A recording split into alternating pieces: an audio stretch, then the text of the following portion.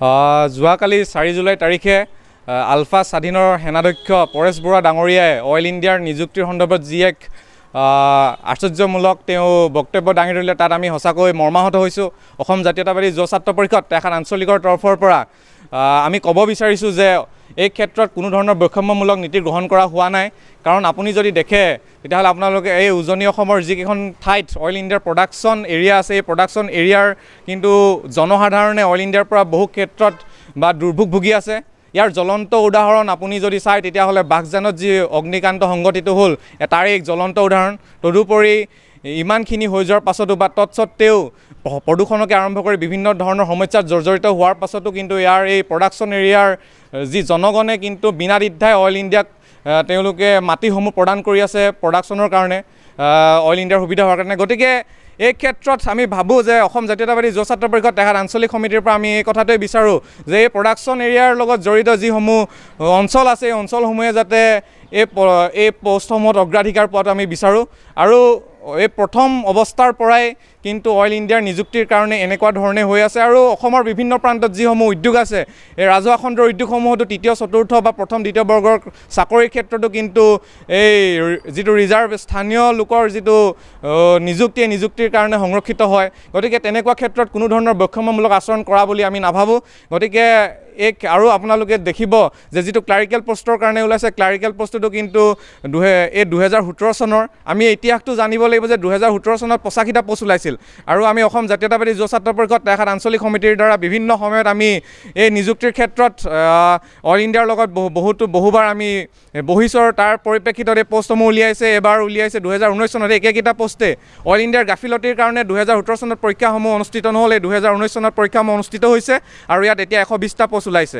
গতিকে আনহাতে যদি আমি চাবলৈ যাওঁ দুহেজাৰ ঊনৈছ চনত ছাব্বিছ তাৰিখ এপ্ৰিলত যিসমূহ পোষ্ট ওলাইছিলে এই পোষ্টসমূহ কিন্তু অইল ইণ্ডিয়া পাইপলাইনৰ আছিলে। আৰু এই পাইপলাইনত কিন্তু আমাৰ যিসমূহ অঞ্চল এতিয়া প্ৰডাকশ্যন এৰিয়াৰ অঞ্চল আছে এই অঞ্চলসমূহৰ কিন্তু কোনো আবেদনকাৰীয়ে তাত আবেদন জনাব পৰা নাছিল। গতিকে এই ক্ষেত্ৰত কেনেকুৱা ধৰণৰ বৈষম্যমূলক নীতিয়ে আমি ভাবোঁ যে অইল ইণ্ডিয়াই গ্ৰহণ কৰা দেখা নাই?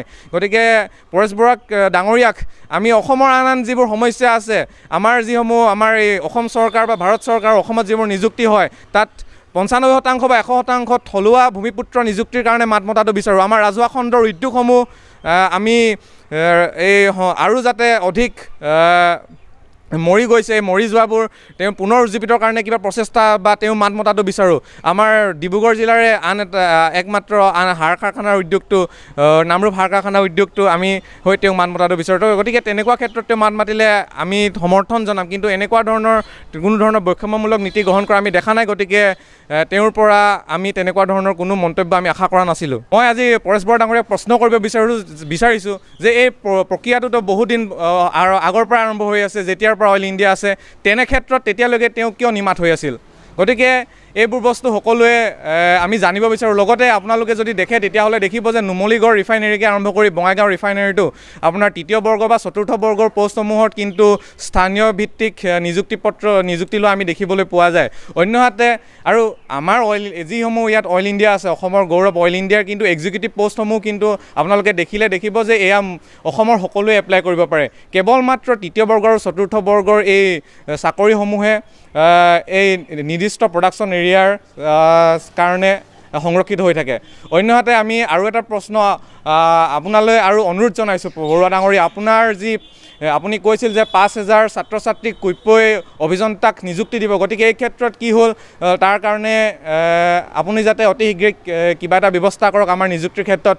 অন্যহাতে আপোনাৰ পৰা আমি এই ক্ষেত্ৰত মাত বিচা মাত মতাটো বিচাৰোঁ আমাৰ এইকেইদিনতে যোৱা কেইদিনতে এশ নব্বৈজন চতুৰ্থ বৰ্গৰ কৰ্মচাৰী ৰে'ল বিভাগত নিযুক্তি পাইছে। গতিকে তেনে ক্ষেত্ৰত আপোনাৰ মাত মতাটো আমি বিচাৰোঁ। আমি মাত মতাটো বিচাৰোঁ যেতিয়া আমাৰ একমাত্ৰ সাৰ কাৰখানা নামৰূপ সাৰ কাৰখানা ধ্বংসৰ প্ৰাপ্তি হৈছে তাত আপোনাৰ মাত মতাটো বিচাৰোঁ।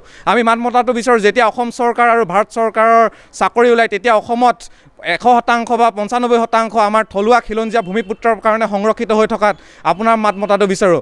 আমি মাত মতাটো বিচাৰোঁ যেতিয়া এই এইখিনি ক্ষেত্ৰত আপোনাৰ উদ্যোগীকৰণ ৰাজহুৱা কেন্দ্ৰৰ উদ্যোগ বঢ়োৱাৰ তেনেকুৱা ক্ষেত্ৰত আপুনি যদি মাত মাতে সঁচাকৈ আমাৰ এই অঞ্চলৰ সকলোৱে আপোনাক সমৰ্থন জনাম। কিন্তু তৈলক্ষেত্ৰৰ প্ৰডাকশ্যন এৰিয়াত আমি প্ৰদূষণকে আৰম্ভ কৰি বিভিন্ন ক্ষেত্ৰত এই জনসাধাৰণে দুৰ্ভোগ ভুগি আছে।